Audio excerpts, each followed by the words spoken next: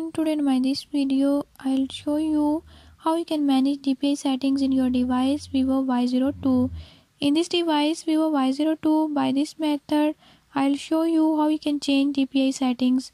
Before I start if you are new to my channel don't forget to subscribe and press bell icon. Watch complete video and learn how you can do it. Let's